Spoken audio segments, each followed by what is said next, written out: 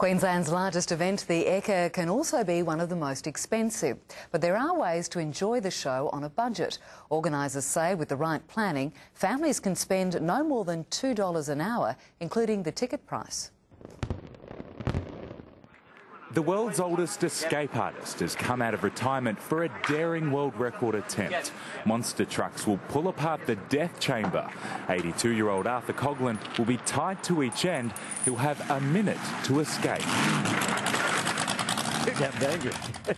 if there's going to be a problem with it, an accident, I'd rather it happen on the night. Arthur's had his knee replaced, surgery on his back, and has a pacemaker.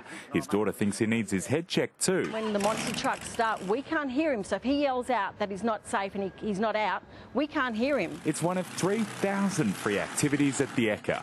Jack Ellison's Million Dollar Night Show is another. So I've got a jump lander. We're going to have the ute for the takeoff. We plan on just lighting up the whole arena with uh, fireworks, lasers, fountains, motorcycles. Watching the competitions in the main arena won't cost a cent.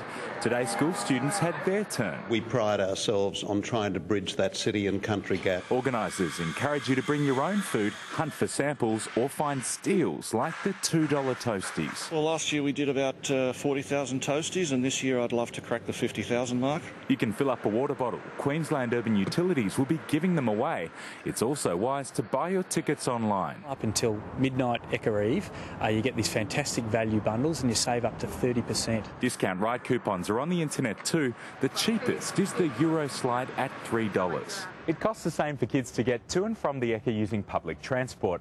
Adult tickets are twice the price at $6 from anywhere between Gympie and Coolangatta. Find more bargains in the Courier Mail's official show guide in tomorrow's paper before gates open on Friday.